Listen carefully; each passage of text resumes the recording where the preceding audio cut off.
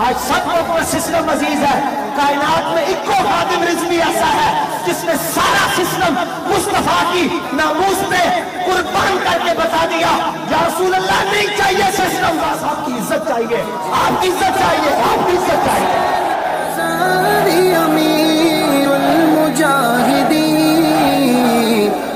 महर इंकलाब तुझे